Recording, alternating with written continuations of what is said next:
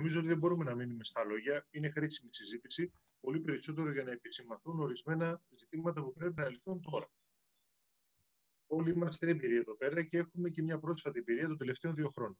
Δεν είναι η πρώτη καταστροφή στα γεράνια. Καταστροφή στα γεράνια, θυμάστε, είχαμε και το 2019.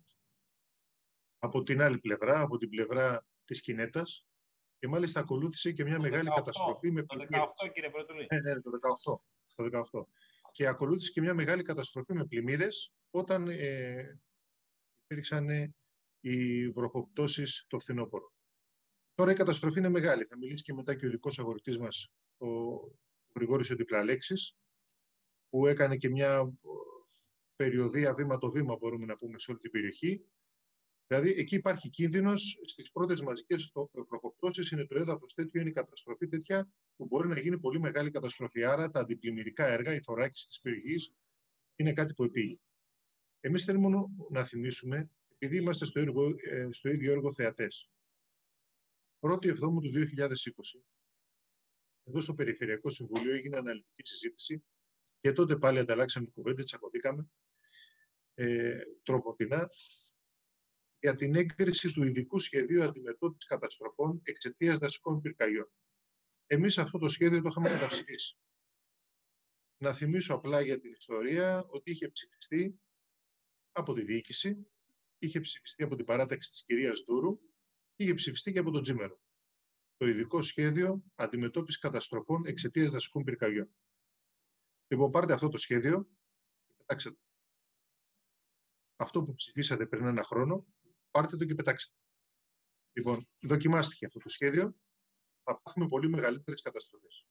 Εμείς το είχαμε καταψηφίσει γιατί υπάρχουν και σήμερα ορισμένα πολύ σοβαρά ζητήματα τα οποία δεν μπορούν να προσπεράσουν. Δηλαδή, τι κάνει, το πρώτο που κάνει είναι ότι διατηρεί την υποχρηματοδότηση για την πυροπροστασία. Δεν είναι το ζήτημα αν η αντιπυρική περίοδος ξεκινάει 1η Μάη και οι παραγγελίες έρχονται 25 του Μάη. Το ζήτημα είναι ότι η υποχρηματοδότηση για την προστα... η πυροπροστασία διατηρείται. Δεύτερο, διατηρείται αυτή η απαράδεκτη κατάσταση να μένουν υποστελεχωμένες όλες οι υποδομές και οι υπηρεσίες οι αναγκαίε για την πυροπροστασία και την ε, δημιουργία των αναγκαίων υποδομών. Παράδειγμα, εδώ είχαμε φέρει το μεγάλο θέμα που διώξατε 5.000, όχι εσείς, μαζί με την κυβέρνηση. 5.000 δασεργάτες. 5.000 δασεργάτες, συμβασιούχοι δασεργάτες, οι οποίοι ήταν για να φτιάξουν όλη αυτή την υποδομή των προληπτικών μέτρων, δηλαδή αντιπυρικές ζώνες, δασικούς δρόμους, αποψηλώσεις, υδροδοτικά δίκτυα, δεξαμενέ, την αρμοδιότητα τη βασική που έχει η περιφέρεια. Η πιο βασική αρμοδιότητα που έχει η περιφέρεια, μία από τις πολλές, είναι ο καθαρισμός, η αστυνόμευση των ρευμάτων. Πώς θα γίνουν αυτά. Το τρίτο που κάνει αυτό το ειδικό σχέδιο αντιμετώπισης των καταστροφών εξαιτίας δασικών πυρκαγιών, που δεν είναι ούτε σχέδιο, ούτε αντιμετωπίζει καμία καταστροφή, είναι ότι μεταφέρει στους Δήμους αρμοδιότητες. Είναι δυνατόν, δηλαδή το έχουμε δει, είναι δυνατόν να μεταφερθούν τέτοιου είδους αρμοδιότητες αντί να υπάρχει ένας κεντρικός σχεδιασμός με την πυροσβεστική, χωρίς να είναι η δασοπυρόσβεση άλλο ξεχωριστό κομμάτι, χωρίς να είναι άλλο ξεχωριστό κομμάτι οι Δήμοι, οι περιφέρειες με τις υδροφόρες. Είναι δυνατόν να αντιμετωπιστεί παίρνοντας οι Δήμοι τέτοιου είδους σοβαρές αρμοδιότητες. Το οποίο ήταν και έτοιμα τη από το 2007. Το 2007. Αυτά είναι απαράδεκτα πράγματα.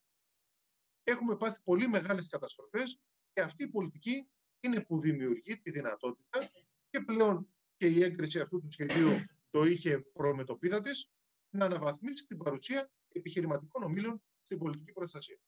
Δηλαδή, δουλειές να μοιράζονται. Να μοιράζονται δουλειές στι υδροφόρε είναι τεράστιος ο προπολογισμό που δίνει η περιφέρεια Αττική για υδροφόρες. 500.000 ευρώ για υδροφόρες. Και δεν έχουμε μια υδροφόρα σαν περιφέρεια Αττική. Δηλαδή, ο κύριος Κόκαλης τι συντονίζει; Τις υδροφόρες των εργολάβων. Τι συζητάμε τώρα; Λοιπόν, αυτά είναι πάρα πολύ σοβαρά ζητήματα. Και αντίστοιχα και σε μια σειρά άλλα ε, τέτοιου είδους ζητήματα. Το πιο σοβαρό που δεν πρέπει να προσπεραστεί είναι ότι ο νέος περιβαλλοντολογικός νόμος είναι εμπριστής. Ο νόμος είναι εμπριστής. Από τη στιγμή που ο ίδιος ο νόμος προβλέπει τη δυνατότητα να υπάρχουν επιχειρηματικές δραστηριότητες ακόμα και σε περιοχές Natura, είναι ένας νόμος εμπριστής. Εδώ έχουμε πλέον την πείρα από αυτό που γίνεται σε όλη την Ελλάδα.